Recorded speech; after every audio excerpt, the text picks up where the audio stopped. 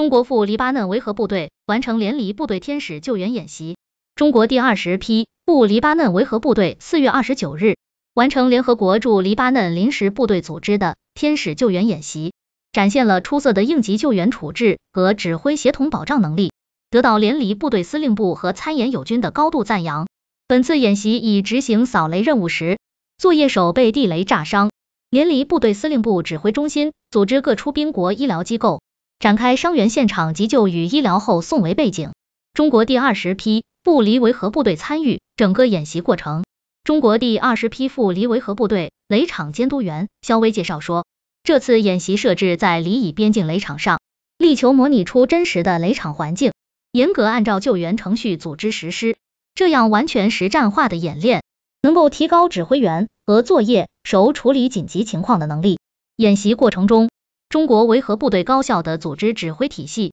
专业的紧急救治水平和良好的语言沟通能力，赢得评估组和友军的一致好评。柬埔寨赴黎维和部队副指挥长塞拉布恩说：“中国扫雷组的救援演练取得很多成果，也为我们柬埔寨扫雷组提供了很好的借鉴。”中国第二十批赴黎维和部队指挥长叶方超说：“通过全要素全流程的实兵演练，我们与联黎部队司令部的指挥通信更加顺畅。”协同配合更加密切，医疗后送更加高效，极大地检验和提高了我们的综合救援能力，为下一步更好的完成维和任务提供了安全保障。截至目前，中国第二十批赴黎维和部队累计清排雷场面积五千八百余平方米，安全排除地雷一千四百余枚，用实际行动践行热爱和平、维护和平的庄严承诺，为维护黎巴嫩南部地区的和平与安宁做出重要贡献。